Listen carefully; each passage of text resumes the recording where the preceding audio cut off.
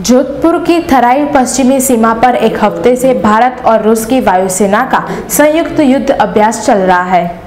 भारत रूस की वायुसेना का एक सप्ताह से जोधपुर एयरबेस पर चल रहा संयुक्त युद्ध अभ्यास अविंद्रा 2018 का समापन 21 दिसंबर को होगा।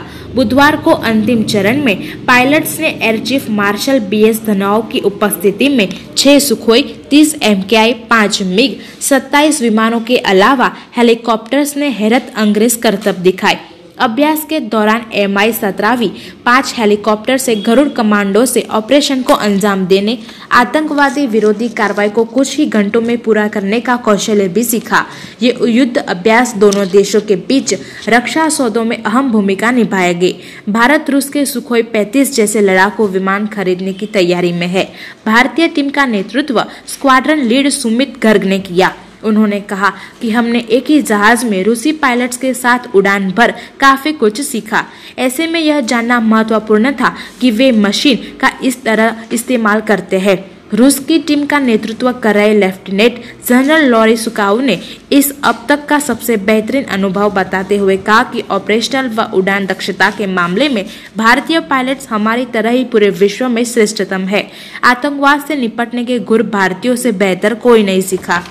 इस अभ्यास का उद्देश्य यही था कि हम एक दूसरे को समझें और एक दूसरे से अपना जो मेल जोल है वो बढ़ाएँ। तो आ, मुश्किल तो कुछ नहीं हुई क्योंकि सब हमने काफ़ी पहले से प्लानिंग की थी इस, इस पूरी एक्सरसाइज की। और जो जो हमें इस एक्सरसाइज में आ, आ, जो हमारा उद्देश्य था जो हमें प्राप्त करना था वो हमने सब इसमें अचीव किया है। तो इस बात की खुशी है और दोनों पक्षों को सीखने को मिला एक दूसरे से। फ्लाइंग में कोई ज़्यादा दिक्कत नहीं हुई। काफ़ी चीज़ें वो भी हमसे सीखे हमने भी काफ़ी चीज़ें उनसे सीखी और तालमेल काफ़ी अच्छा रहा। वो भी काफ़ी प्रोफेशनल है हमारी तरह। वो चीज़ एक अच्छी लगी तो हम जिनके साथ अभ्यास कर रहे हैं। वो भी हमारी तरह काफ़ी प्रोफिशिएंट है। ये जो रशियन एयरफोर्स है उसके साथ जब हम एक्सरसाइज करते हैं तो हमें बहुत कुछ सीखने को मिलता है। क्योंकि जो हमारे हवाई जहाज़ हैं, जितने फ्लीट्स हैं, उन सब रशिया में बने हैं।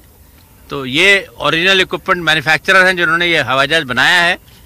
तो इनसे हमें बहुत कुछ सीखने को मिलता है और एक दूसरे का नॉट ओनली एक दूसरे को जानने का मौका मिलता है, एक दूसरे के जो सबसे अच्छे बेस्ट प्रैक्टिसेस हैं, वो हम एक दूसरे से का, एक दूसरे से ज्ञान पा सकते हैं।